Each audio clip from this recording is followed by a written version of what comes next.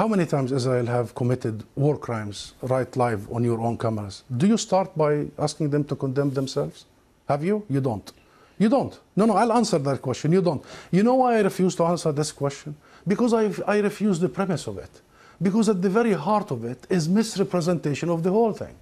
Because it's the Palestinians that are always expected to condemn themselves. I mean, come on, this is a political conflict. We have been denied our rights for a long time. You, you bring us here whenever there are Israelis who are killed. Did you bring me here when many Palestinians in the West Bank, more than 200 uh, over the last few months? Do you invite me when there is such Israeli provocations in Jerusalem and elsewhere?